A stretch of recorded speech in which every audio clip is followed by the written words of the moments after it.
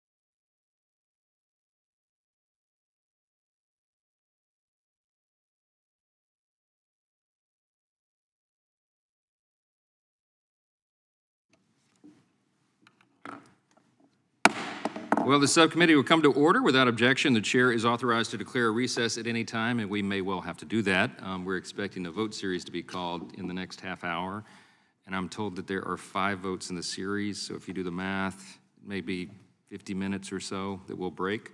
Uh, but we're going to do the best we can because we want to be good stewards of all of your time, so we appreciate you being here. We welcome you to today's hearing on proposed constitutional amendments. Without objection, our colleague Mr. Moran on the full committee will be able to participate in the hearing today. And I now recognize myself for an opening statement. Uh, Sunday, as we all know, was Constitution Day in America. Great celebration because it was on September 17th of 1787 that our nation's founders signed the Constitution that they had drafted during the Constitutional Convention in Philadelphia. The Constitution was a new and ambitious experiment in self-governance. It still is that but it stood the test of time, and we're now 236 years into this experiment. It's the oldest and shortest constitution the world has ever known, and it laid the foundation for our country to be the freest, most powerful, most successful nation in history. It's the envy of the whole world. It's the model for everyone.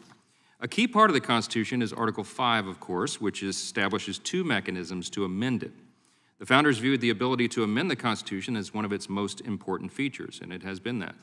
At the convention, El Elbridge Gerry argued that, quote, the novelty and difficulty of the constitutional experiment requires periodical revision.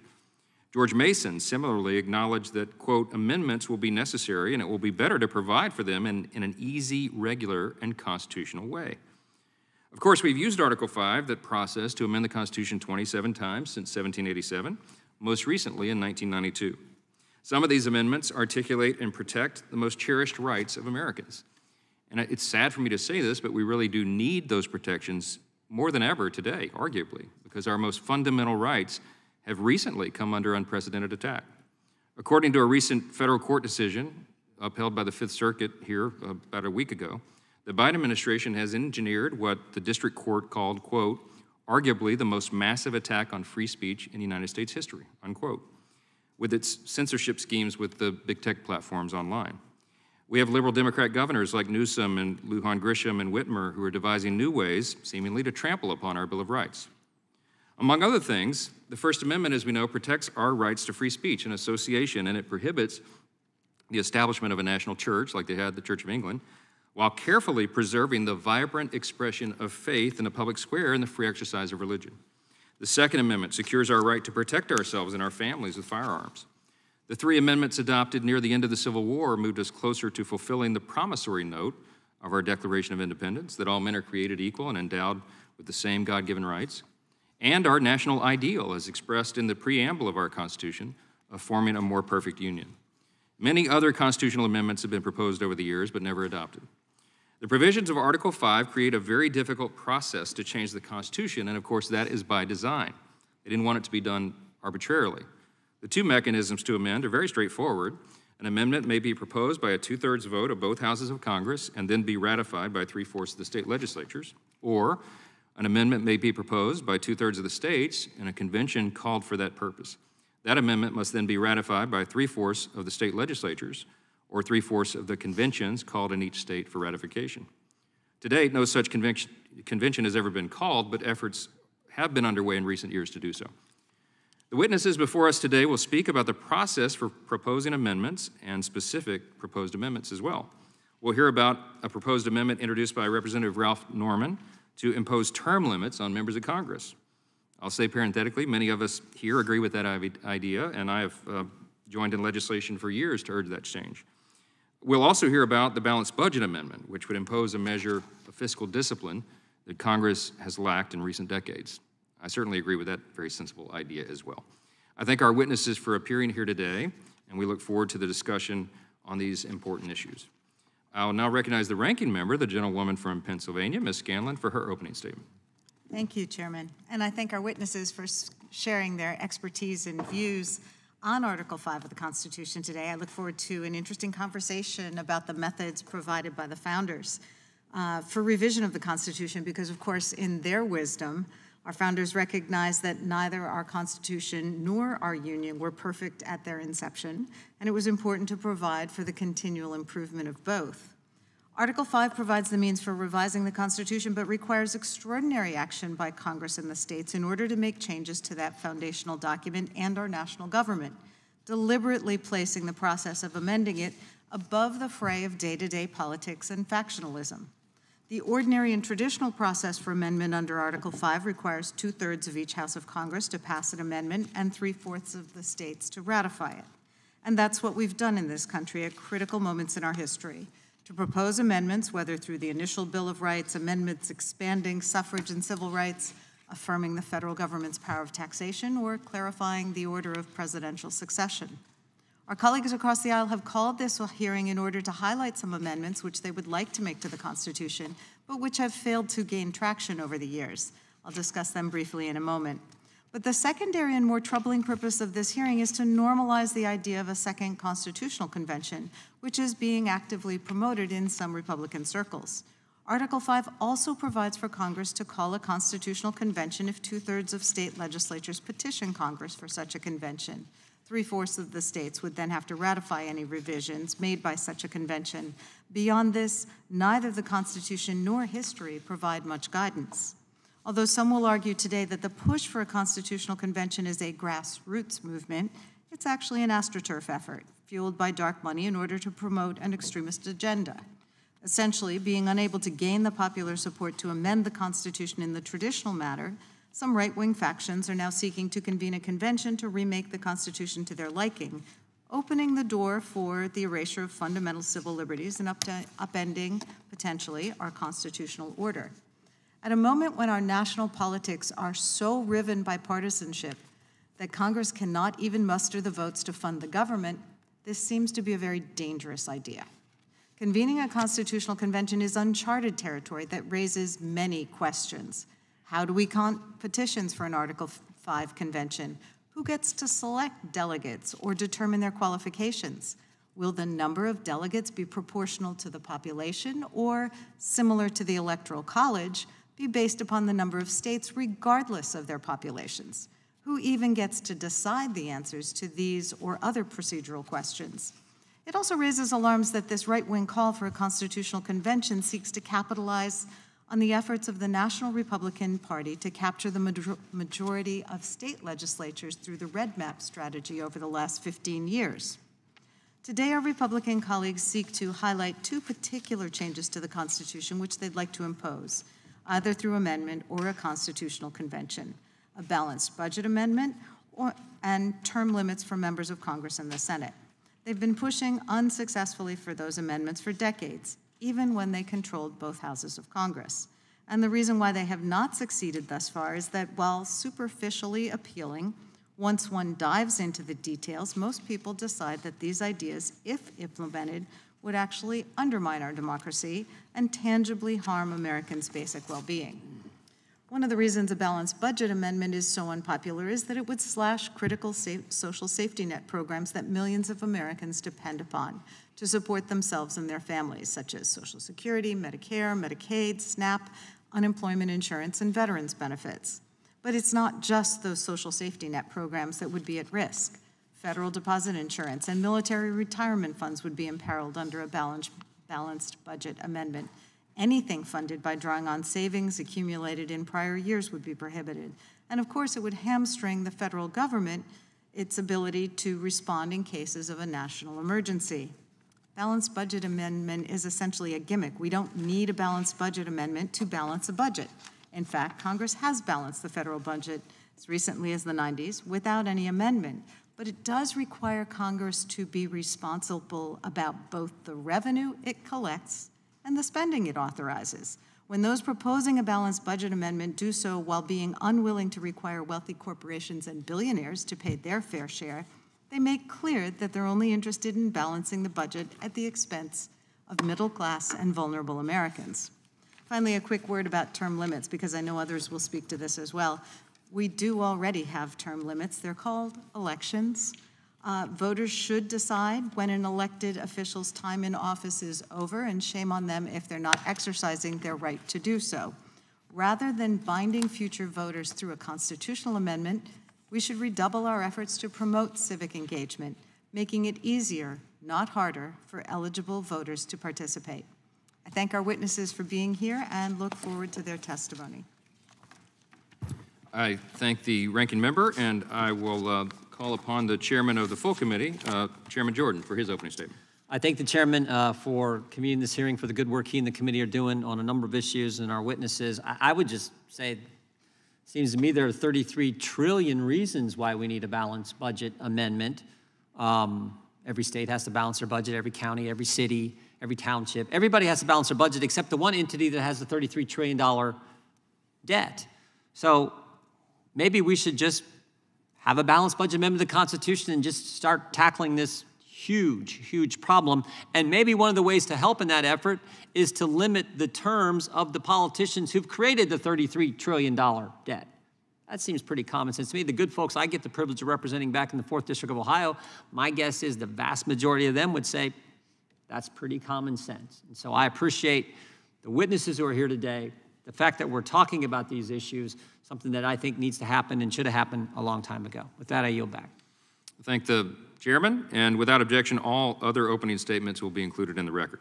We'll now introduce today's witnesses. Mr. Nick Tomboulides is the executive director of U.S. Term Limits, a nonprofit organization that advocates for term limits at all levels of government. He's a graduate of the University of Connecticut with a degree in economics. Uh, Dr. David Primo is the Ani and Mark Gabrielian Professor of Political Science and Business Administration at the University of Rochester. He's also a senior affiliate scholar at the Mercatus Center. He's an expert on fiscal policy and the budget process and has authored several books on the topic, including Rules and Restraint, Government Spending, and the Design of Institutions. I haven't read that, but I, I want to. Uh, Mr. Thomas Jipping is a senior legal fellow in the Edwin Meese III Center for Legal and Judicial Studies at the Heritage Foundation. His research focuses on the Constitution, the political process, the courts, and other issues. And prior to joining the Heritage Foundation, he served for 15 years on the staff of Senator Orrin Hatch. Mr. Stephen Spalding is the Vice President for Policy and External Affairs at Common Cause. He previously served as a staff member in Congress, including the House Administration Committee and the Senate Rules Committee, and served as a special counsel to FEC Commissioner Ann Ravel. Uh, we welcome our witnesses and we thank you all for appearing today, especially under these sort of unique circumstances. We'll begin by swearing you in, and I'd ask you to rise and raise your right hand.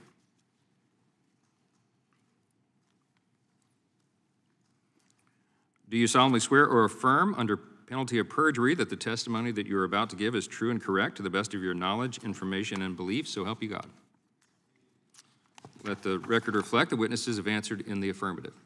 Um, so you, you know that your written statement is entered into the record in its entirety, and so because of that, we ask you to summarize your testimony in five minutes. You all have done this before, but the microphone in front of you has a clock and a series of lights. When the light turns yellow, you should begin to conclude your remarks. When it turns red, your time has expired. Mr. Tomboulides, we will begin uh, with you.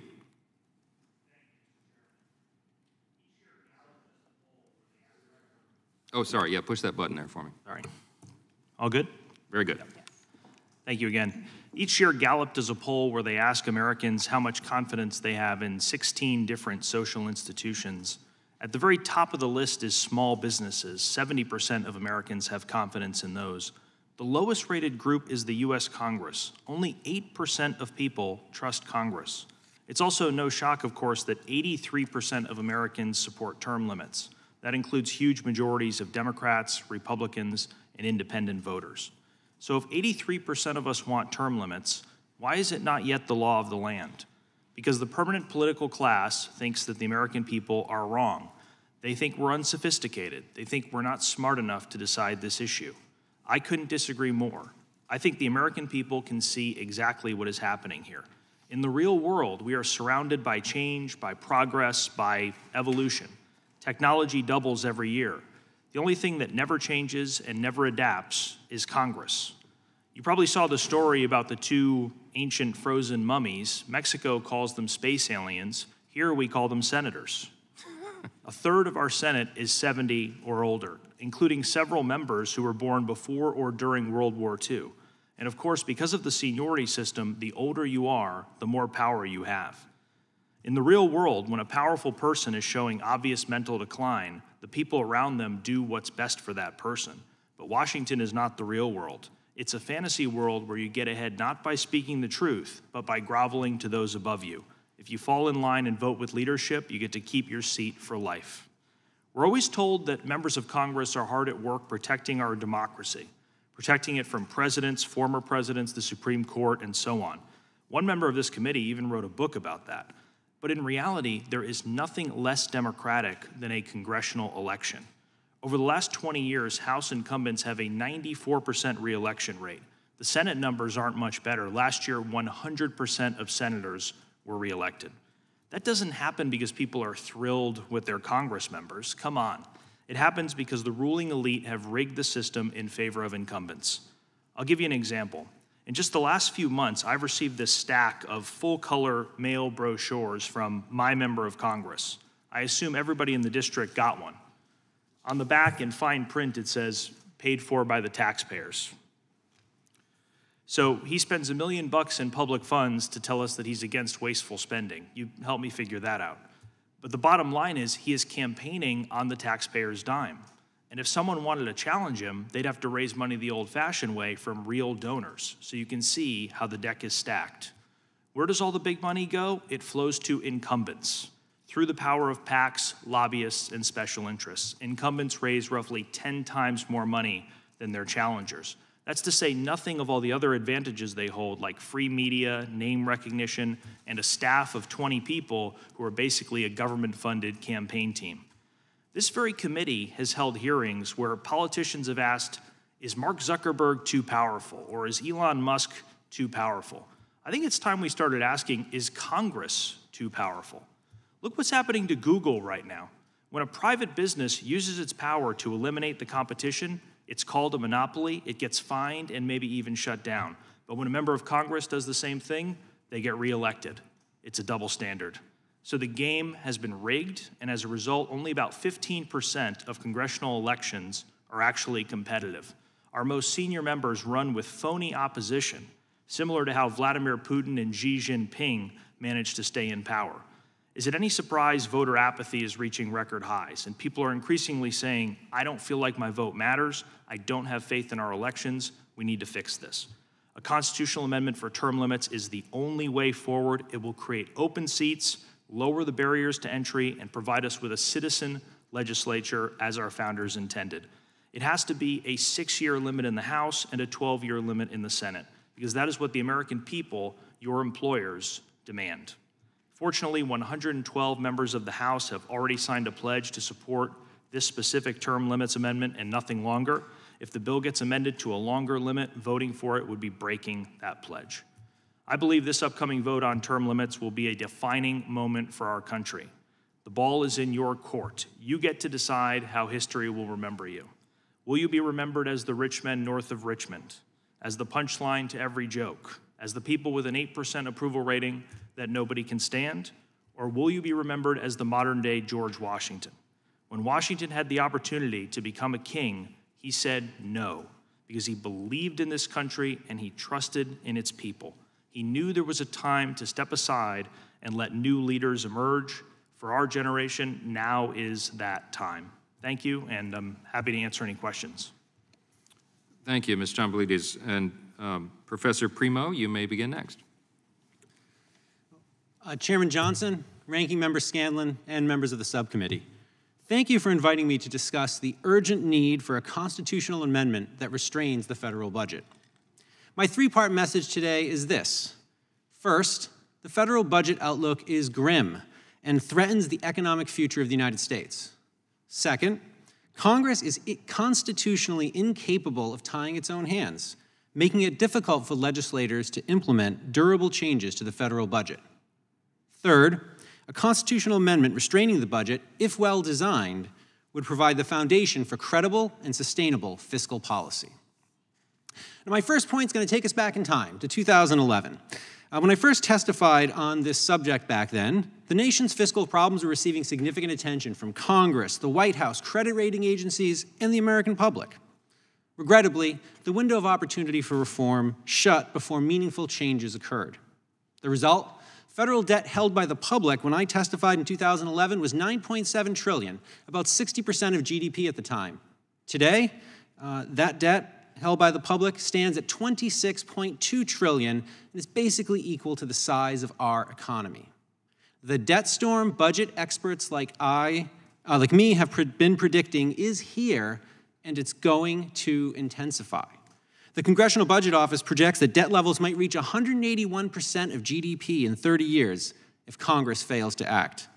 Unchecked debt growth is going to have enormous consequences on the economy, interest payments on the debt, and ultimately, it's going to produce a fiscal crisis. The current fiscal path is unsustainable and threatens the well being of Americans, especially those in future generations. To get on a stable fiscal path and stay there, Congress needs to act quickly and credibly. So, why hasn't it? Well, that takes me to my second point. Congress is its own worst enemy when it comes to fiscal policy. Congressional reelection motivations make it tempting for lawmakers to leave difficult decisions about programs like Medicare for tomorrow. Politically, it seems there's never a good time to deal with the budget crisis. Now, even if the political hurdles facing budget reform are overcome, and that's a big if, Congress faces yet another problem. Specifically, Article 1, Section 5 of the U.S. Constitution, which reads, in part, each House may determine the rules of its proceedings.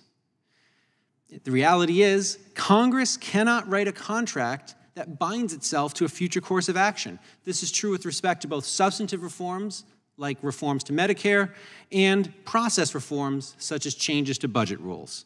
What Congress does today, a future Congress can undo tomorrow. And my third and final point, I propose a solution to this quandary a well designed amendment to the U.S. Constitution. Such an amendment would place permanent, truly enforceable limits on Congress's ability to tax and spend.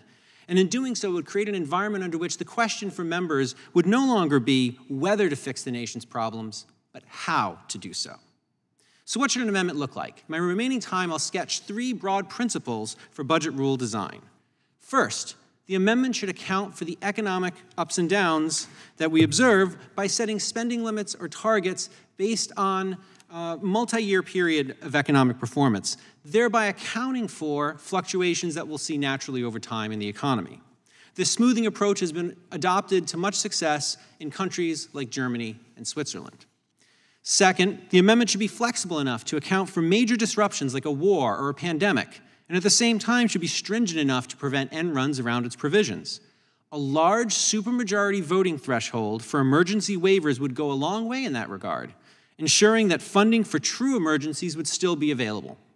For instance, the CARES Act, which passed in the early days of the pandemic, a time of true emergency, would have been enacted even if a constitutional amendment were in force at the time.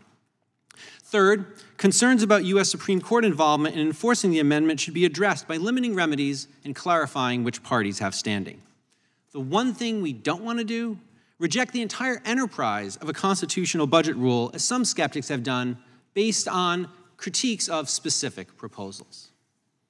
In closing, the United States is in precarious fiscal health, necessitating the serious step of amending the U.S. Constitution. To be clear, the amendment process is fraught with political and procedural challenges, but a well designed constitutional amendment will help the country achieve credible and sustainable budget reform. While successes in budgeting have occurred on occasion, these successes have almost always been short lived. A constitutional amendment can help make future budget agreements durable and reduce political uncertainty. In the absence of a constitutional amendment, I fear it will take a fiscal crisis before Congress acts. Nobody wants that. Thank you again for inviting me to testify, and I look forward to your questions. Thank you, for Professor Primo. Um, Mr. Spalding, I'll ask you to go next. Uh, y'all are probably aware the buzzer means we have votes. They've started. We have 20 minutes to get there, so we'll squeeze these two in. Is that, if that's okay with everybody, and then we'll race, break, and we'll come back. So, uh, Mr. Spalding, go ahead. Thank you, Mr. Chairman, Ranking Member Scanlon, distinguished members of the committee. Uh, thank you for the opportunity to testify this afternoon. Our Constitution has endured for 234 years, not because it is perfect, but because it is a constant work in progress. Despite its famous first three words, we the people, the Constitution long excluded the people who make up the backbone of our nation including people brought here in chains and counted as three fifths of a person in the very charter that promised the blessings of liberty. Yet, through the hard work of our fellow Americans, our Constitution has expanded freedom, equality, and made our union more perfect, but there is a long way to go. Pursuant to Article 5, the Constitution has been amended 27 times in our history, and each time Congress has sent proposed amendments to the states after they passed both houses by two thirds. This process gives certainty and stability to our system. The alternative way would require Congress to convene a constitutional convention if two thirds of the state petition it to do so. There are at least three reasons why convening a constitutional convention is unsound. First, even if it is purportedly called to address a single issue, there are no rules to limit the scope of a convention to protect us from big permanent changes to our constitutional rights that could set our country back. Second, there is an extraordinary risk that secretive, wealthy special interests, the same ones that pump millions of dark money into our elections, will use a constitutional convention to further stack the deck and bake their proposals into the Constitution. Third, it puts at grave risk the rights and freedoms that are enshrined in our founding charter. Harvard Law professor Larry Tribe said such a convention would mean, quote, putting the whole Constitution up for grabs, unquote. The late Justice Antonin Scalia said, quote, he certainly would not want a constitutional convention. Whoa, who knows what would come out of it, unquote. Article 5 provides no rules for how a convention would work. Who sets the rules? Who enforces the rules? Can it be limited to a single subject? How would the delegates be chosen? Will the convention be one person, one vote, sort of like the House, or one state, one vote, sort of like the Senate? Could the convention, or I should say two votes in the Senate, but equal representation of the states in the Senate? Could the convention require a supermajority to propose amendments? And if each state gets one vote, should it still require delegates who represent a majority of the population to support an amendment that gets proposed? The point is, there are no settled answers to these questions, and now is not the time to experiment with the Constitution. A convention would undoubtedly attract intense lobbying efforts from special interest groups and powerful people who want to shape the outcome. The influence of unlimited big special interest money and political pressure on the convention's delegates would lead to amendments that serve narrow interests rather than the common good. An intense lobbying effort is already underway to open the Constitution up. One group, the American Legislative Exchange Council, or ALEC, has been particularly active in this effort. And although ALEC is organized as a charity, it is underwritten by major corporations and brings corporate lobbyists and state legislators, legislator, legislators together to write model laws that are then disseminated throughout the country in state houses. ALEC and other big money groups have been working hard to pursue an effort to convene a convention with the goal of writing a balanced budget amendment into the Constitution. If this is added, it would harm the economy, force cuts to key programs that protect our health and safety, and destabilize our ability to respond to crises like armed conflict or the next pandemic. Most proponents of a balanced budget amendment assert that 28 states have called for that convention, leaving them six short of the necessary 34 that they need. Considering the times we live in with the government on the brink of a shutdown, Trust in government is at near record lows. And while a constitutional convention is a route that the Constitution authorizes, there are deep disagreements over how a convention would work, who would write the rules, how those rules would be enforced, and how the convention could be manipulated by those special interests I mentioned who have already shown a willingness to stack the deck against the people. And when the stakes are as high as they are, at this moment, too many people would question the legitimacy of whatever came out of that convention, which would invite chaos. We all want things to improve in our country, and the Constitution is not without its imperfections. Its enduring strength lies in its ability to adapt and evolve through a carefully structured amendment process. But at a time of unlimited money in politics and extreme gerrymandering, using this untested, risky process is the wrong way to make those improvements. The responsible path is to follow that of those who came before us that worked for the 27 amendments added to the Constitution. Thank you, and I look forward to your questions. Thank you, Mr. Spalding. Mr. Jipping, you may begin. Thank you, Mr. Chairman. Push that button for me, yeah. Thank you, Mr. Chairman. President George Washington first published his farewell address to the American people 227 years ago today. September 19, 1796, in the Philadelphia Daily American Advertiser. He explained that the Constitution can be changed only by, quote, an explicit and authentic act of the whole people, unquote. That act, defined as in Article 5 of the Constitution, is ratification by the three fourths of the states of, an, of a proposed amendment in the manner Congress has, has specified and within a deadline that Congress has set. Under Article 5, amendments may be proposed by two-thirds of Congress or by a convention called by Congress upon application of two-thirds of the states.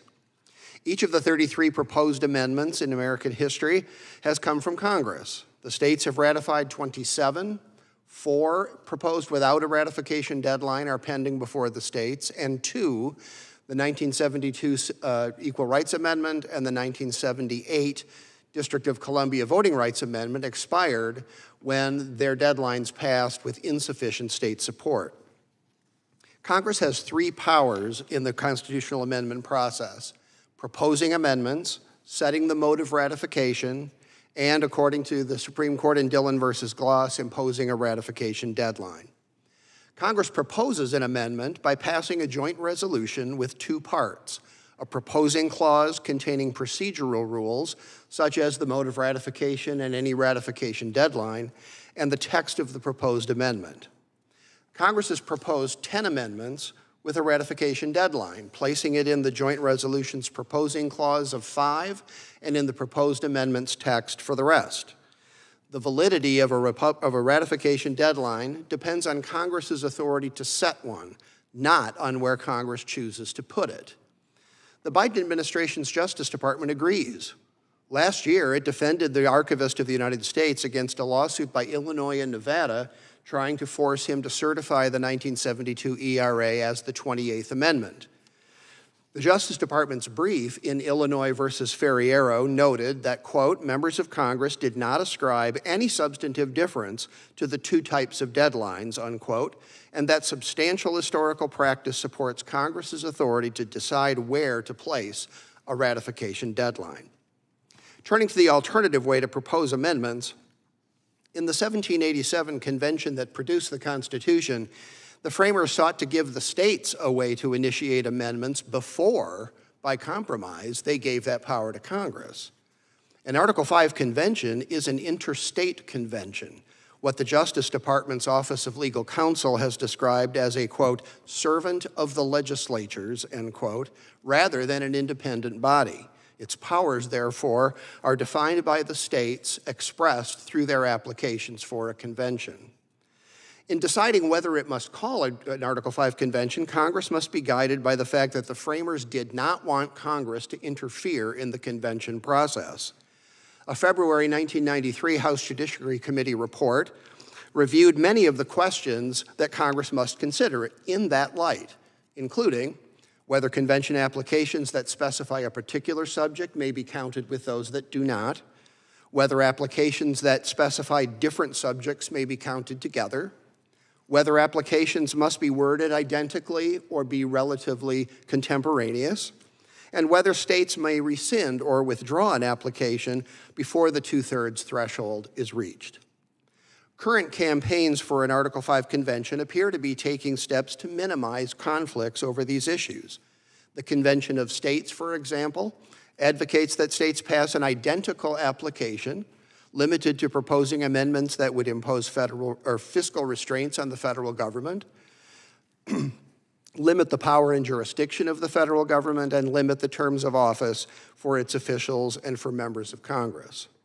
I have included with my written statement a new legal memorandum published by the Heritage Foundation last Friday that discusses many of the issues that I've touched on today in the context of the 1972 ERA. Thank you again for the opportunity to testify today, and I look forward to answering your questions. Thank you, Mr. Jipping, and all of you. Votes have been called on the floor, so the subcommittee will stand in recess until immediately after votes. Appreciate your patience.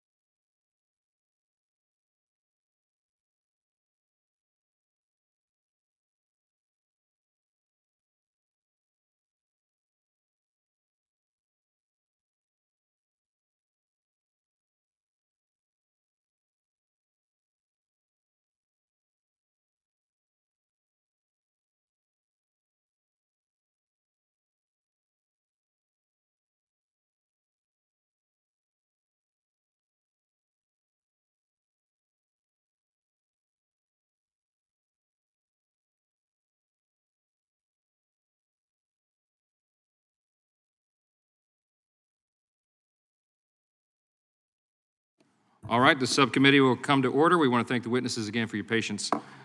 Uh, We will now proceed under the five-minute rule with questions, and the chair recognizes the gentleman from Texas, Mr. Hunt, for five minutes. With delegate my time to Mr. Moran from Texas, please. Thank you, Mr. Chairman. Thank you, Mr. Hunt. Um, When I came to Congress last year or this year, I viewed our out-of-control spending as one of the greatest threats to our economic freedom. Our country's prosperity relies heavily on our ability to grow and innovate, which we can do when we have our fiscal house in order. But we have a bloated national debt of 33 trillion and growing. And it's not the fault of just one party, it's both. Consider these statistics from just the past few administrations. During the Obama administration, we added $8 trillion plus uh, to our national debt, which at the time he took over was just south of 12 trillion. Then under President Trump, another $8 trillion was added to the national debt. And since then, President Biden has added approximately 3.5 trillion to the national debt. And now today we sit at close to 33 trillion in national debt. As a result of our fiscal mess, uh, I introduced the principles-based balanced budget amendment, which is House Joint Resolution 80 earlier this year. We've been working closely with Americans for Prosperity on the, the language of this issue. And this constitutional amendment, which is written in a way that is meant to be flexible, comprehensible, meaningful, and frankly, able to be passed and to be ratified, will allow Congress to affirm the principles of maintaining a balanced budget without overriding any of the policymaking power core text of the amendment and the primary principle reads simply uh, this way Expenditures and receipts shall be balanced, which may occur over more than one year. And in fact, the total text of this uh, proposed amendment is just two paragraphs. It also allows for emergency spending with two thirds approvals from both chambers, but it allows Congress to decide how to balance the budget, whether it's structural or biennial, and gives Congress flexibility to change the design of the implementing legislation. The BBA serves as a foundation for Congress to implement detailed legislation over time that meets the moment. Washington has racked up pretty hefty bill over the past 20 years, and now families and businesses are experiencing the crippling inflation and soaring interest rates as a result. They balance their budgets. Why cannot we? Increased debt leads to decreased freedom. Regardless of the statutes that would underline this constitutional amendment that would put in place those things that need to happen to make it a reality, uh, we cannot ignore this any further. Mr. Primo, you mentioned in your opening remarks that, quote, Congress is constitutionally incapable of tying its own hands. At present, I agree with you, but I'd like to change that with my proposed constitutional amendment. You testified before this committee in the past in favor of a balanced budget amendment in 2017. Do you think it's needed more now than it was then? And if so, why? I go back and I look at my old testimony, and um, I, you know, I was talking about the concerns I had then about the national debt, and then I look at where we are now. Uh, and if I was concerned then, I'm, I'm, even more concerned now. And I just don't see a path forward for Congress to, again, act on its own to balance uh, the budget or even come close to balance in the absence of some external constraints. Um, one of the things we always hear is, oh, Congress can balance the budget anytime it wants. Well, empirically, uh, we can look back in history and see that at least in the last few decades, that really doesn't happen anymore. Without a constitutional balanced budget amendment, do you think Congress really will rein in spending the way it needs to and get its house in fiscal order? Unfortunately, just looking at uh, the track record of Congress on lots of other issues, it often will take a crisis before meaningful action occurs. Uh, and some people say, oh, crisis is a great opportunity for, for action, as the saying goes, but uh, I actually think that's a really terrible time uh, to make legislation and make decisions because uh, you're under the gun. In your opinion, how does the national debt pose a concern long term for future generations of Amer American taxpayers? And uh, in terms of our, our daily lives, how's it going to impact us if we do not plot a new course and, and make this change now? Well, as the national debt continues to grow, uh, interest payments obviously are going to, to, increase, especially if we continue to see a high interest rate environment. What that means is that uh, a greater share of the uh, government spending will be to paying off, uh, paying interest on the debt, which of course means that less funds can be spent on other things that are important to Americans. Uh, in addition to that, um, eventually uh, we're going to start to see an effect of the national debt and economic growth. Uh, and of course, low growth is, is a huge problem for, for societies because it means that we won't have the level of prosperity we could otherwise have as a country. Uh, Many programs, such as Medicare and Social Security, are uh, captivating a whole lot of our annual spending. Uh, Do you think that uh, these important programs should be considered when we are balancing our- our budget each year? I just don't see a way to not tackle the entire budget if the goal is to have long-term fiscal responsibility. Uh, I think the key, right, is to remember is that the, the, the claim is, well, we, we can't, you never can touch Medicare, you never can touch Social Security, but the math just doesn't work out if you don't consider how are you're going to reform those programs. They Dr. need Prim- to be changed. Dr. Primo, I appreciate your time and appreciate your perspective and agree that we need to tie the hands of Congress moving forward, plot a new course, get on a fiscally sane course to balance our budget over the next decade. Thank you for your time. I yield back. Gentleman's time's expired. The chair recognizes the ranking member of the full committee, a gentleman from New York, for five minutes. Thank you, Mr. Chairman. Mrs. Spalding, how would a constitutional amendment requiring a balanced budget undermine Social Security spending, military retirement benefits, and other important public service programs? Uh, Thank you, Mr. Nadler. Um, There have been a variety of balanced budget amendments that have been considered by Congress, but um, among the many troubling results would be that it would essentially render it unconstitutional to spend uh, reserves and spend reserves to, uh, on Social Security benefits, on military benefits, because the proposals that have been before uh, this Congress have limited um, expenditures to revenues brought in in the same year. And that would require uh, significant and severe changes to Social Security and a whole host of other uh, programs that ensure uh, security. Uh, and it's a bad idea. Um, Isn't Social Security premised on the idea of prepaying? Precisely. So when, when you are going to limit expenditures only to revenues that have come in that year, um, the way Social Security is set up, it would require cuts to Social Security. But that's not the only challenge with a balanced budget amendment. What, it, what it's doing is putting uh, fiscal policy into the Constitution. It would put Congress in a straitjacket. It would make it uh, exceedingly difficult to respond to economic crises, to recessions, to armed conflict, to a pandemic, as I mentioned earlier. Uh, and, and that is not the way our Constitution is designed. It would also put judges and jurists and attorneys in a strange position where they would be refereeing debates that should be happening here uh, in the Article 1 branch of government and not over uh, in Article 3 and having jurists kind of weigh fiscal policy. So, for a whole host of reasons, the uh, Constitution is not the appropriate place to be debating fiscal policy. Thank you. Mr. Spalding, do the states or the Congress have the authority to mandate limits on the scope of an Article 5 convention, such as limiting discussion to a single subject or amendment? No, and that is one of the that is one of the concerns, um, if not the top concern. There are no rules. The language in Article 5 about convening a constitutional convention is incredibly spare. It just says Congress convenes a convention. And there's a whole host of questions that I uh, included in my written testimony that I touched on at the oral portion of the testimony, but there are no rules, there are no answers. That's why jurists from uh, across the ideological spectrum have expressed serious concern about how a convention would work. But to answer your question, ultimately, there is no enforceable way to ensure that the convention only considers a single subject. Thank you, Mr. Spalding. Last month, a far-right group, Convention of States, organized a so-called simulation of an Article 5 convention. The mock convention resulted in, among other things, the adoption of a limitation on Congress' power to regulate interstate commerce, which would negatively impact numerous areas of public policy, including the continued viability of federal civil rights laws like the Civil Rights Act of 1964 and other laws that prohibit discrimination in public accommodations. In your view, would an Article 5 convention be more likely to threaten or to protect Americans' individual and civil rights?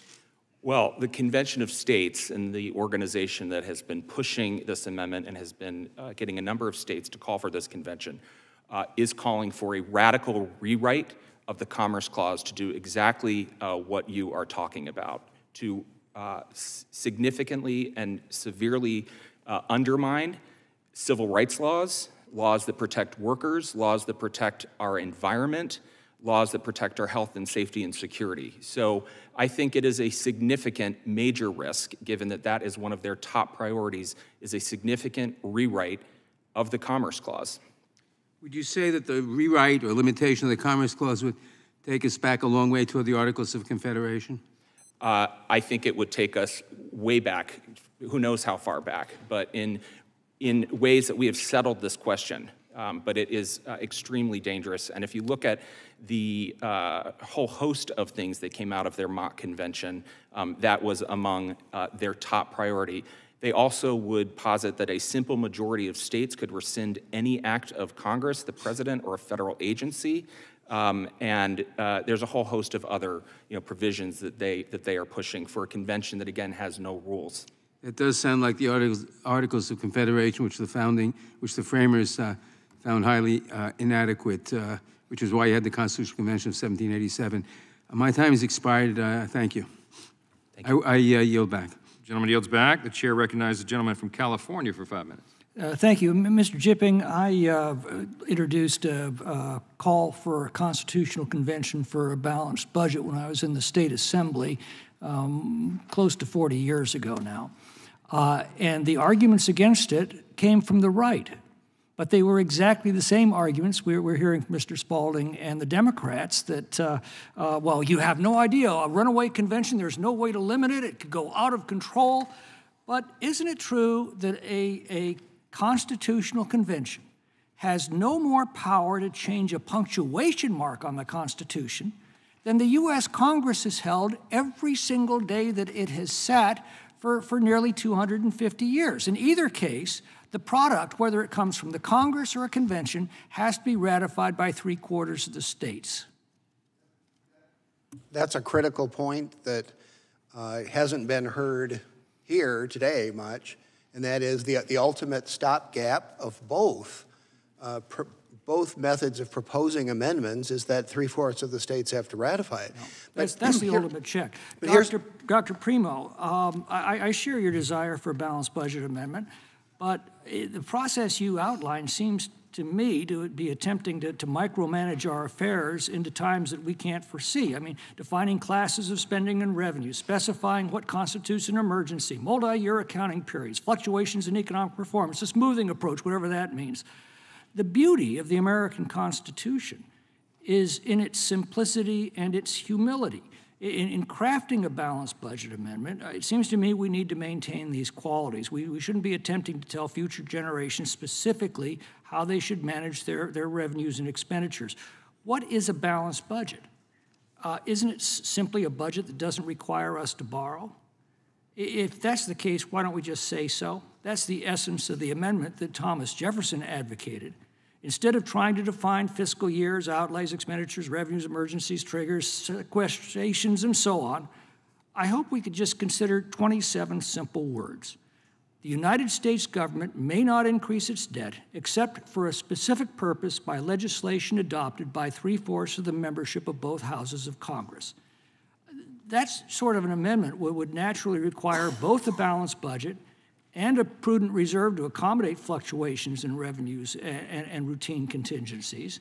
It trusts that three fourths of the Congress will be able to recognize a genuine emergency when they see it and that one fourth of Congress will be strong enough to resist borrowing for, for uh, uh, light or passing reasons. Uh, that is actually my uh, House Resolution 9. Uh, what's your uh, opinion of that approach? Thank you for the question. I am sort of my focus is that, in fact, or the way I would think about it is my the proposal I have where, where you sort of allow for a smoothing approach is actually it's, it's actually placing less of a restraint on Congress to, you know, to, to follow the rules in the Constitution, if you will. In other words, it's saying to Congress that you need to have some flexibility that you may not have perfect balance year in and year out, and it would be impractical to call everything an emergency, right? So if you required a three quarters vote to have a to have to exceed the well, if you if you can't borrow, you're rather forced to, to do that, and that's the whole point of the amendment is to, to, to force the Congress to live within its means, but not tell it how to do that. I, I, would commend that uh, to, to, your consideration. Mr. Tomboulides, uh, the, the, founders considered uh, term limits for members of Congress. They explicitly rejected them. I was only one of two sitting members of the California Assembly to endorse uh, legislative term limits in 1990 in California. It's Prop 140. It set a six-year uh, limit on the Assembly at the time. I thought it was going to encourage more goal-oriented members to be much more skeptical of the uh, bureaucracy, much more resistant to the uh, legislative leaders.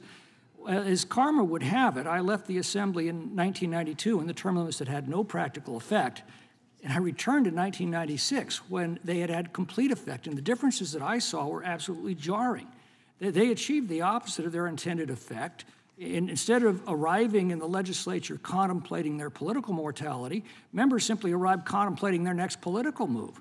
They had no experience in state government, so they were far more dependent on the bureaucracy.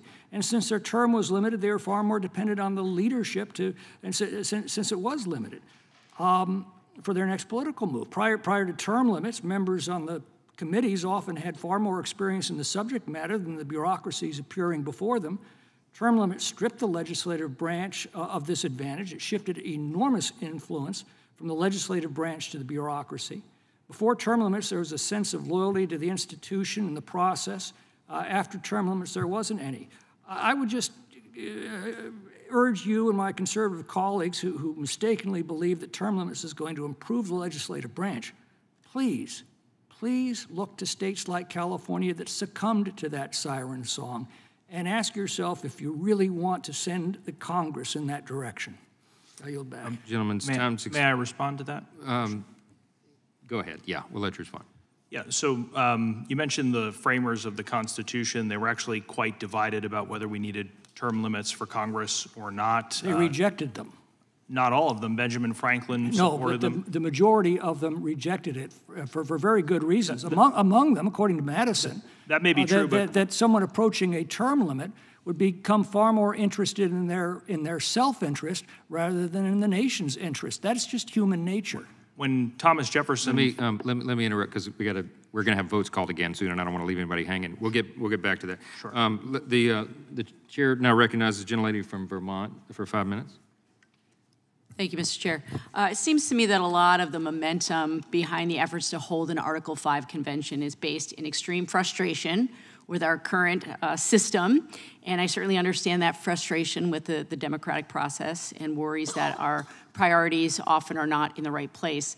And, you know, I would just mention I'm extremely frustrated that we're on the brink of yet another government shutdown because of the demands of a minority uh, faction in Congress. And so we know that the blow everything up option doesn't work and it often hurts regular Americans the most.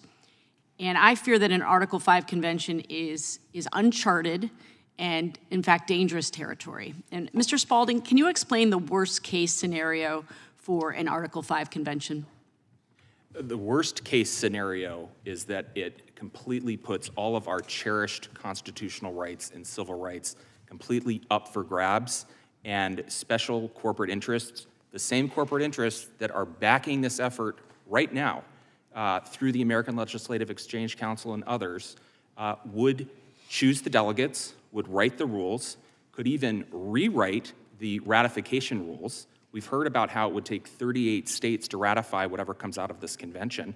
Um, that is not, that, that, the last time there was a constitutional convention, the ratification rules in 1787 were rewritten uh, in, in such a way. So that's, that is, for me, not a safe backstop. You don't start a fire and hope that the fire department's going to come and put it out, that the 38 states are going to reject them. That could be rewritten. So you have special interests putting our civil rights up for grabs and completely tilting the favor, even, tilting uh, our founding charter even more in their favor and making those changes permanent. And that, that's my concern as well. Uh, the Constitution, as you well know, is, is a bulwark to preserve important rights and liberties, and especially for folks on the margin. If you think about uh, the attacks on the LGBTQ plus community right now across this country, um, would something like same-sex marriage be at risk? Uh, would it continue to be protected under the 14th Amendment? Can we guarantee that if we were to hold um, a convention of the states? A- absolutely not. I think all of those cherished rights, uh, marriage equality, the right to marry the person that you love, climate justice, racial justice, all of these rights and freedoms that we are pursuing and that we hold dear that uh, would all be up for grabs. Uh, those constitutional rights would be uh, at risk of a major rewrite. And the people that are backing yeah, tell me more about that. Peop, folks let's, that, let's, let's just some that are out there. pushing um, some of these amendments mm-hmm. are, are quite hostile to the freedoms uh, that have been expanding throughout our history. Um, and that is one of the goals is to constrain those uh, freedoms. And if you explore sort of where some of that money is coming from, some of the interests that are backing these proposals, um, it's dangerous. It's why 240 groups uh, have signed a statement opposing an Article 5 convention because it would, as Professor Tribe said, uh, put, our, put, all of our, put our Constitution up for grabs. Do you think it's fair to say that an Article 5 convention has the potential to follow unrepresentative processes and could result in some very undemocratic outcomes? A absolutely. Um, again, the language is so spare. It just says that Congress is going to convene a convention, but it doesn't make clear whether people are going to be equally represented or whether states are going to be equally represented. So is it going to further empower um, states that represent uh, a small minority of this country? Um, or is it going to empower people? How are delegates going to be chosen? And again, as I brought up in my opening statement, we're at a time of extreme gerrymandering. There, one group that is pushing this, the uh, Convention of States, it is their view, um, notwithstanding the text of the Constitution, that states would write those rules and that states would set the rules. It would be one state, one vote, and that state legislators would choose who's going to go to this convention. I don't know where they're getting that from. That is not in the text of the Constitution. But all the more reason that this process would uh, not be nearly as democratic and people powered as some are positing. I really appreciate that. In the last 30 seconds here, uh, I know a balanced budget amendment is something that sounds great in the abstract, um, but often makes no practical sense for, for a modern nation. Can you just speak briefly about um, your sense of what a balanced budget amendment could do to the economy? Uh, well, it would make it much more difficult to deal with economic crises, recessions, war, pandemics uh, and it would harm uh, people in our country that depend um, on a government that is representing them and is meeting their meeting their needs. And so all of that, again, to put Congress in that kind of a straitjacket and then to tell unelected judges that they're going to interpret and rule on fiscal policy is not the way our system is designed. Thank you very much, Mr. Spaulding. I yield back. Gentlelady yields back, and uh, the chair, just for a moment, I ask unanimous consent that a statement from Americans for term limits on the history and utility of term limits be inserted in the record. Without objection, so ordered. And the chair now recognizes the gentleman from South Carolina for five minutes. Thank you, Mr. Chairman, for having this hearing today. Thank you for our witnesses uh, for being here. Uh, when I was in the South Carolina General Assembly, uh, I supported a joint resolution calling for an Article 5 Convention of States. This was just last year. It passed this re resolution and became the 19th state in the country calling for that Convention of States. Mr. Jipping, can you briefly describe the steps for amending the Constitution under Article 5? Either, con either Congress or the convention you referred to can propose an amendment by a two thirds margin. At the end of the day, uh, nothing becomes part of the Constitution that's not ratified by three fourths of the states. So the, the logic that says um, you should not allow an Article 5 convention to exist because of the theoretical possibility that it could propose something untoward would say you shouldn't allow Congress to propose any amendments because Congress could propose something that was untoward. The fact is, the Constitution belongs to the American people. They alone, this is why I started my opening statement with uh, President Washington's farewell address. Uh, the, the, Supreme Court actually held in, in 1795, a year earlier, they actually asked the question, What is a Constitution? And they said that the Constitution can only be changed by the authority that made it. And so we, we've seen lots of rewriting of the Constitution. Uh, people who say that that could happen by a very long and considered process involving a convention, Supreme Court does it all the time. So we, we have an illegitimate process of changing our Constitution through the Supreme Court.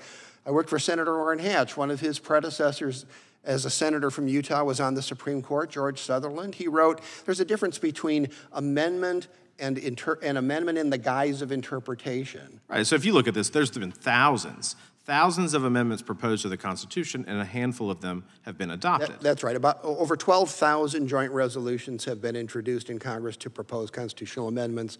Congress has proposed 33. Right, and so to, to, to the point, you know, I hear the sky is falling um, from uh, the other gentleman earlier, like that we're going to somehow go backwards uh, in some way. But to me, the only thing that could be proposed and ratified are things that are extremely popular with the American public, like a balanced budget amendment, like term limits. These are the types of things that could rally uh, the people uh, to, to do that. Would you agree with that? Absolutely. The, the, the sky is not falling.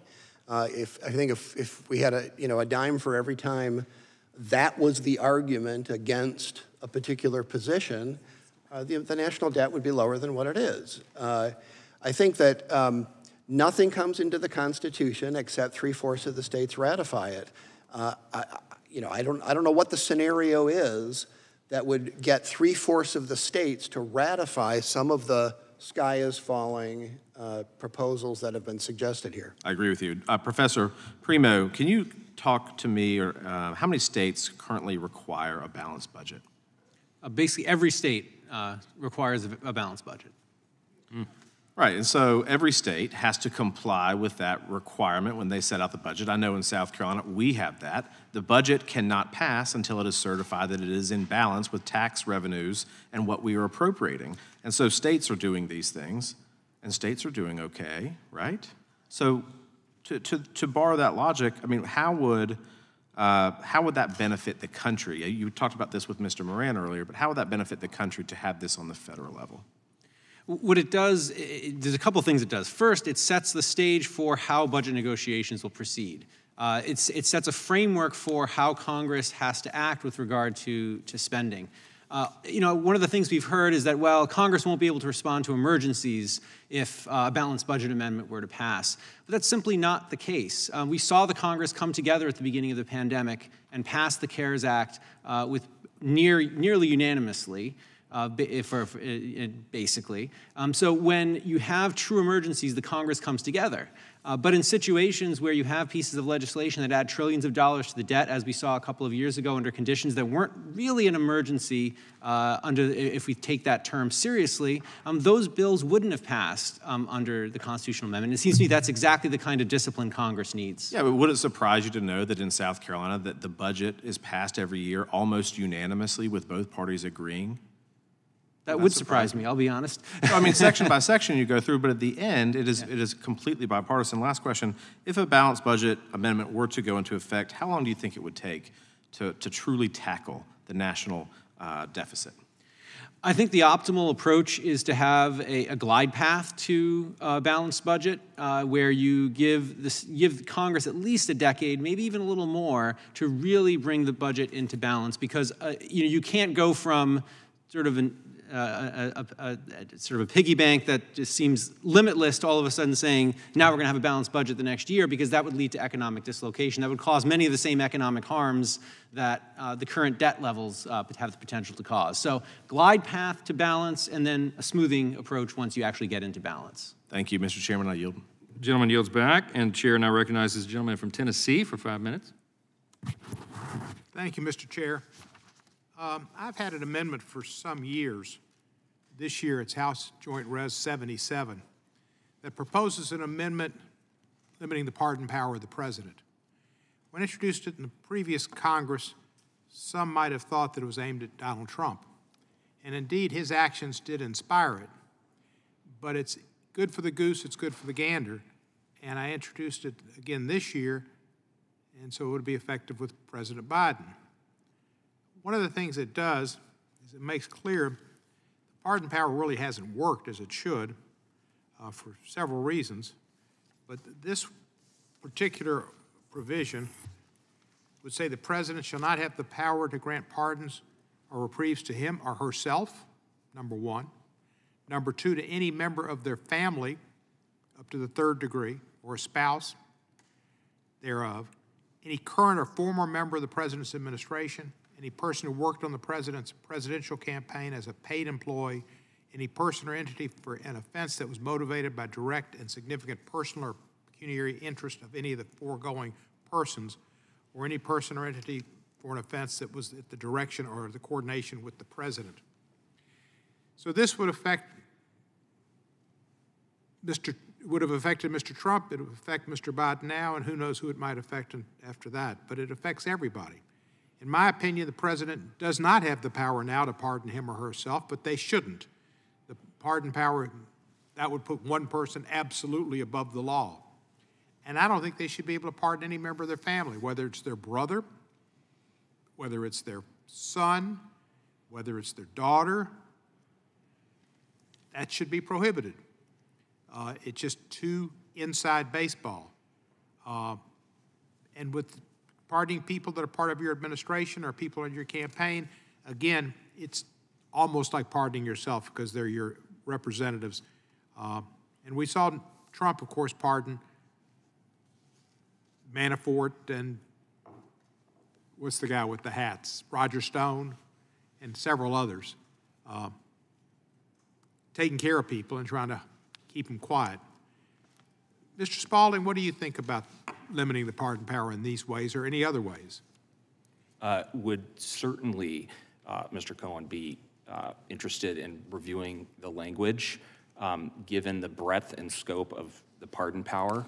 Uh, No question that we were on the brink, we saw abuse of the pardon power, but for all the, the examples you just, you just gave about close associates of the former president, um, his recent interview just over the weekend, continuing to dangle this concept of a self-pardon merits serious consideration. And I think outside of the constitutional amendment process, there is pending legislation, the Protecting Our Democracy Act, which would also uh, ensure more transparency into the pardon process and would uh, ensure that you have the information that you need as a member of Congress uh, to provide effective oversight and to further understand how the pardon power is being used or abused. Mr., uh, I think Mr. Flynn was pardoned too, if I remember correctly. Flynn, Stone, Manafort. Who are some of the others I might have forgotten? There was, uh, There, there were, there were a number. Uh, there were a number. I, I won't opine off the top of my head, but as he was out the door, uh, a number of pardons, uh, anybody else in the for panel major remember donors. any of the people that, that Trump pardoned that were kind of part of his team? Want to offer anything? No? Mr., is it Tam Bal- Balutis?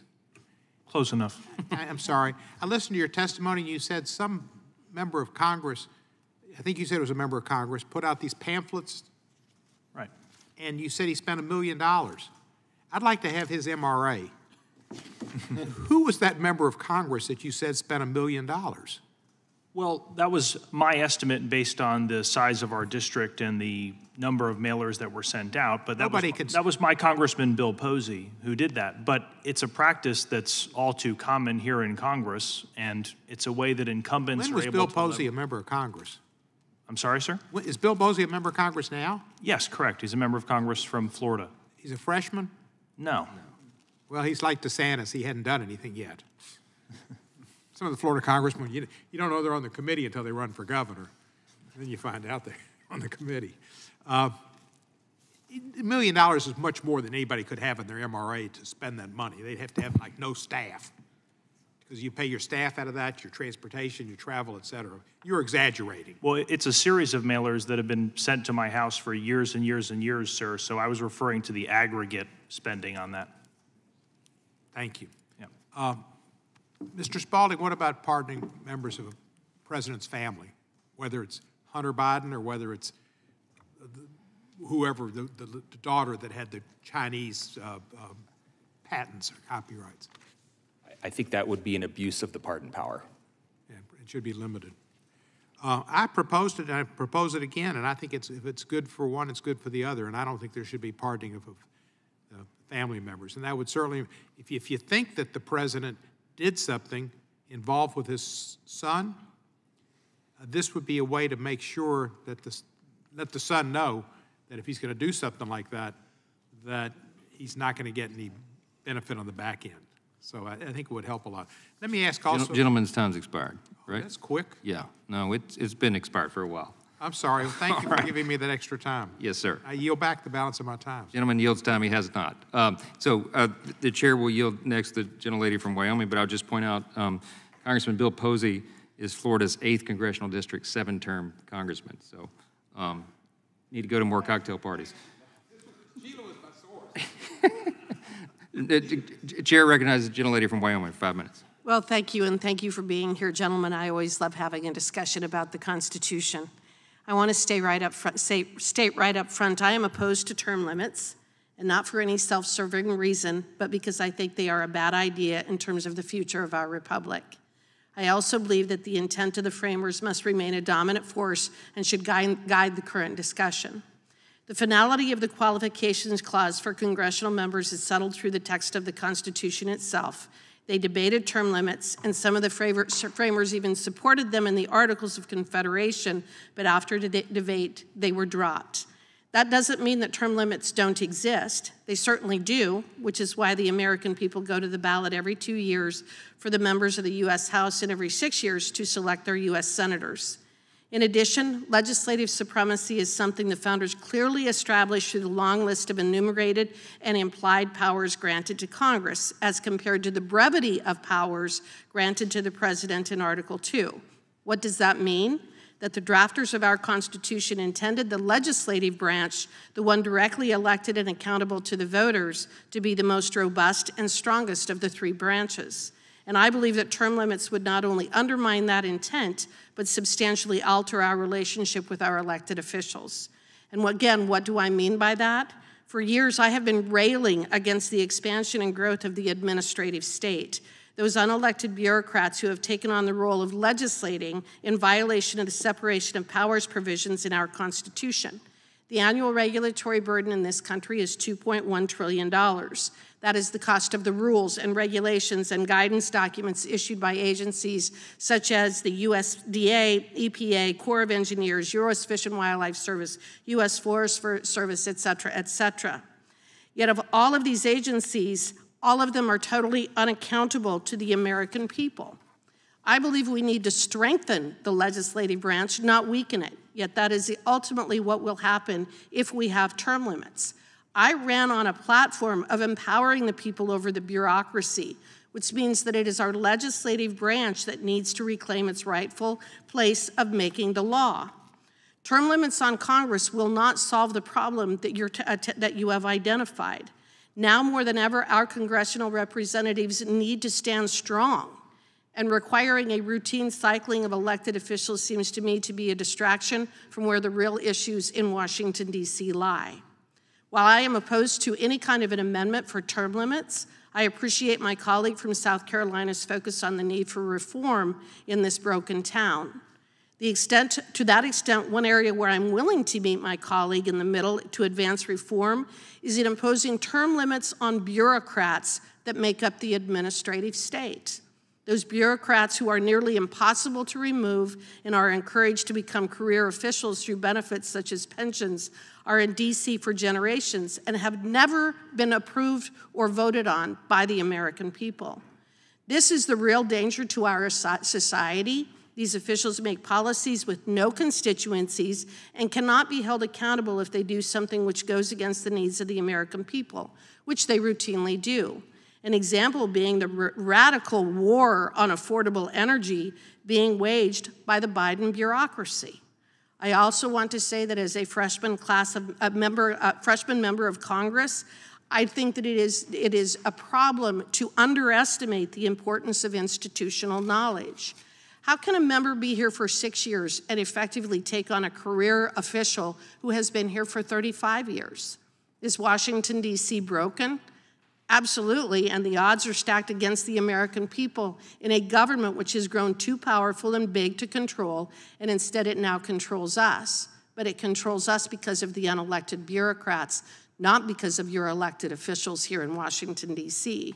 Reform is necessary, and it should come from the people who are actually elected by the American people. The only directly elected officials in town should not become the, the target, it should be those who are unaccountable. This Congress needs to unify and hold accountable those officials who spend their entire lives in D.C. without taking a single vote, yet impose trillions of dollars of hidden taxes against us. I want to close by reiterating that term limits already exist through elections, but limiting ballot choi choices doesn't fix problems, it only creates more. And with that, I yield back. Gentlelady yields back. Uh, The chair now recognizes gentlelady from Texas for five minutes.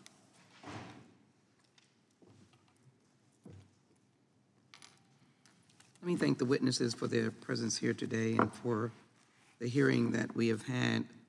Um, It's important, I think, Mrs. Spalding, I'm going to focus on trying to not be redundant, but deliberate um, more with you on this process. First of all, um, I'm glad that the Founding Fathers uh, added uh, Article 5 uh, to at least acknowledge as a democracy uh, we should be prepared in times of absolute need for change or maybe crisis to effectively uh, maneuver a process uh, with two thirds and three three quarters that might work on a serious need for change.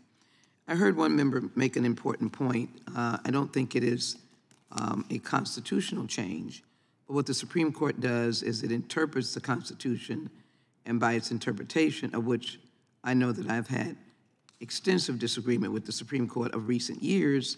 One could say that they've altered uh, constitutional law or decisions that were premised on constitutional law. And what comes to mind, of course, is the Shelby case that literally destroyed the Voting Rights Act that I think was grounded in the 14th Amendment, equal protection, possibly the 15th Amendment, and then, of course, due process. Um, how they got to their decision of just eliminating voting protections. And of course, we have deteriorated and gone further down.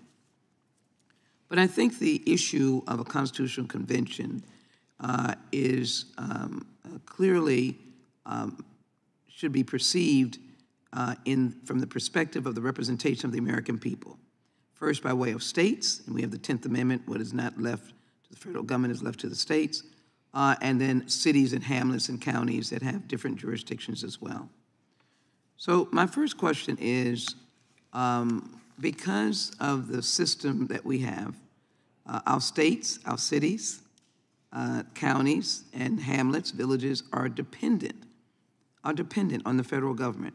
They do major, the government does, major work from interstate um, uh, highways, uh, from the railroads.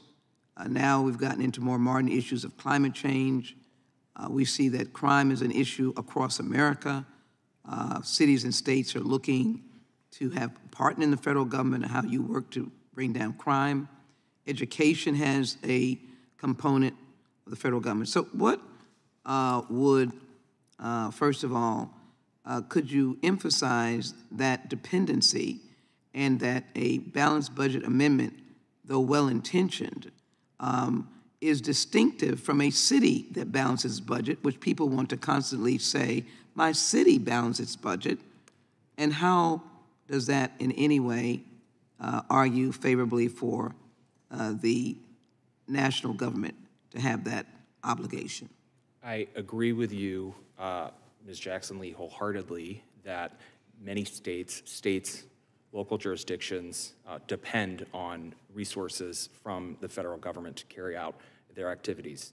Um, one important point, we've heard about states having balanced budget requirements. Mm. Um, states generally have an operating budget, which may be balanced. Then they also have a capital budget, which may include borrowing, uh, which may include needing to dip into reserves that weren't raised uh, that year. So um, I think there's uh, some nuance there when we're talking about states uh, abiding by balanced budgets, because in generally, you know, general, there's there's two, um, and so I, that's a that's a point that I appreciate having the opportunity to make. So we can make the argument that local governments, state governments that balance their budget, there may be uh, some um, unique uh, focus that doesn't equate to a massive budget that the federal government has to do, utilize uh, based upon the needs of the American people. Lastly, very quickly, uh, two of my colleagues were eloquent on this whole question of term limits.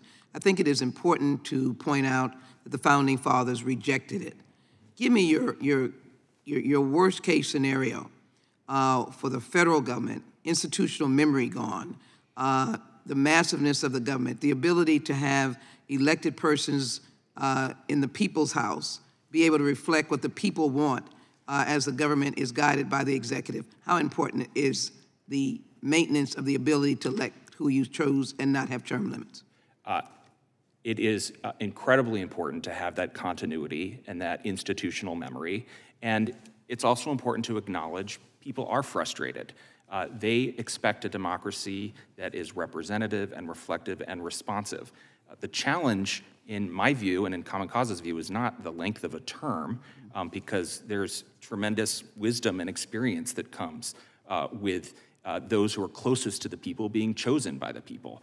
The challenge is it's the attacks on the freedom to vote, extreme gerrymandering, the influence of money in politics that has distorted representative democracy.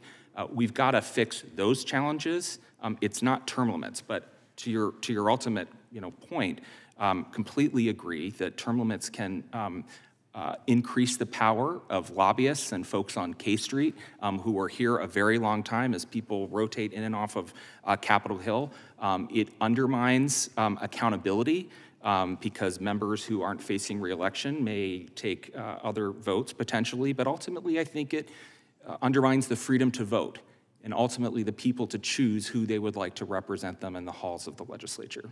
Mr. Chairman, I want to thank you for your indulgence. I just want to make one last sentence on the record uh, Ms. Spalding, you said it, it undermines the people's ability to run their government as they choose. We have to fix it and make it work, but it undermines the people, and I'm standing with the people, from cities to hamlets to villages to states. Mr. Chairman, thank you for allowing me uh, to introduce that statement and to the ranking member as well. I yield back. Gentlelady yields back. Uh, Chair recognizes myself for five minutes. Uh, we've got to answer some of this, Mr. Tomboulides. Um, so, um, let's do it. You noted uh, that that Gallup says 83% of Americans believe in term limits now. There's good reasons Correct. for that. One of the difficult questions that's been brought up today and that we get often is uh, about the unintended consequences. So, how do you answer the objection that if we impose term limits in Congress, the professional staff who have long careers here will be the ones with all the institutional knowledge and they'll effectively become the unaccountable ruling class? What's the, what's the answer to that? Well, first of all, I do find it uh, very ironic that the point has been made here that um, representatives will be choosing the people over term limits when it's actually 83% of the people who want term limits. So I think the people don't just have a limited right to elect their representatives, they absolutely have a right to decide the parameters around elected office. Um, Senator Mark Warner had a, had a good quote. He called the U.S. federal bureaucracy the largest in the world. Over the last hundred years, the bureaucracy in this nation has gone from 2.5% of GDP to 25% of GDP. According to the Federal Register, we have over 400 different departments, agencies, and sub agencies, over 100,000 different federal rules and regulations. This is the biggest bureaucracy, and yet, uh, puzzlingly, Congress has never had term limits. So, therefore, we are left to conclude that this entire bureaucracy that everyone has a problem with, that has become so unaccountable and undemocratic, that was created by career politicians.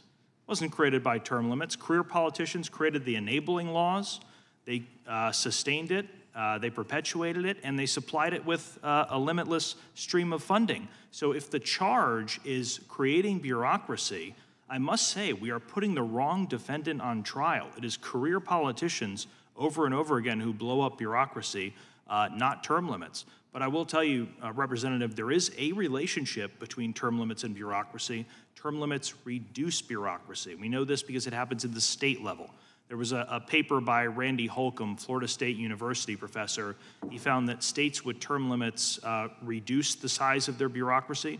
There was an analysis done by the National Taxpayers Union, which found that the longest serving members of Congress vote to spend the most money on bureaucracy. And then there was another paper that just came out last year by uh, an NYU professor, uh, Mona Vakilifathi, who found that in states with term limits, the legislators actually give bureaucrats a more confined mandate and less discretion with respect to what they can do. So the laws are written to bureaucrats, you must implement our law this way, other than you may implement our law this way. And that is a tremendous difference because uh, it means that those legislators, those democratically elected legislators, will have their policy wishes carried out uh, into the next generation as opposed to letting unelected bureaucrats uh, decide the rules of the game. Got it. Um, in the amendment process, Mr. Jipping, in the amendment process, can a state legislature alter or amend the language of a proposed constitutional amendment after it has been transmitted to them for ratification? Uh, not in any substantive way, no. Uh, th- there are different states will ratify or, or, or not ratify, but they'll make their ratification decision uh, in somewhat different ways. But when a constitutional amendment is proposed, the states consider ratifying that constitutional That, that amendment. specific language, so there's not a danger that it goes That's off the rails at that point. Can Congress set a time limit for states to ratify a proposed amendment? Absolutely, they can, and they've done it many, many times.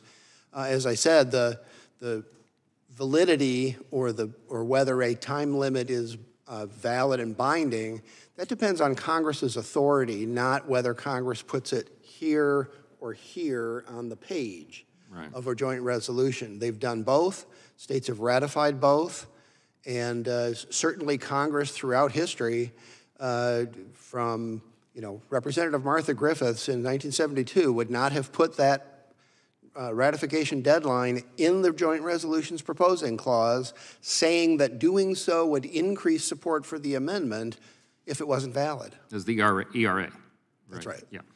Um, so we know that that one lapsed, by the way, because we have that debate here all the time. It's clearly the ERA's time limit is lapsed. It, it died more than 40 years ago.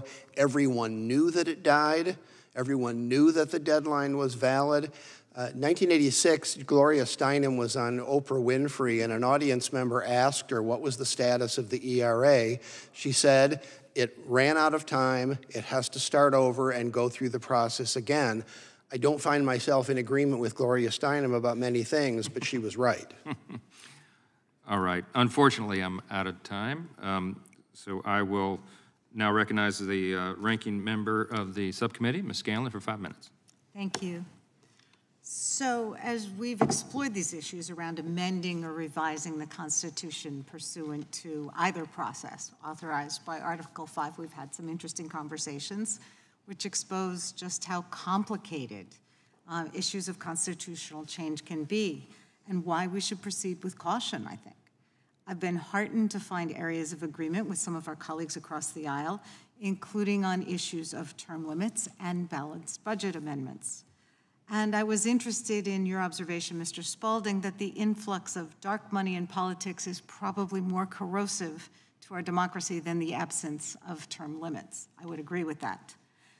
So here we are, we've just returned from the House floor where yet again an attempt to fund the government, a core constitutional duty for Congress, has been thwarted by an extremist anti government minority, not even a majority, a minority. So I'm listening with trepidation to these suggestions that we should impose additional burdens, uh, whether a, a balanced budget amendment or some kind of supermajority requirement on our budgetary process when we can't even seem to get it done right now with what we have. I understand many people are frustrated by the difficulty and pace of confirming constitutional amendments. Mr. Cohen mentioned his amendment, which would limit the ability of a president to pardon him or herself. I've been waiting my entire adult life for final acknowledgement, enrollment, or resurrection of the Equal Rights Amendment, depending on what side of that debate you want to come down on. In the past month, I've had constituents advocate for amendments, many of which have been adopted by various states, including amendments to guarantee access to reproductive health care, including abortion care, to overturn the Citizens United decision, which has allowed a flood of dark money in our politics, to guarantee the right of labor to organize and collectively bargain, to protect and improve a healthy environment for current and future generations, a right to a thorough and efficient public education, and the possibility of revising or repealing the Second Amendment So these are all ideas that have merit and deserve congressional consideration. Uh, recently, former Senator Russ Feingold and constitutional scholar Peter Prindiville published an interesting analysis of the purpose and history of Article 5. It's entitled The Constitution in Jeopardy, probably too long to enter in the record.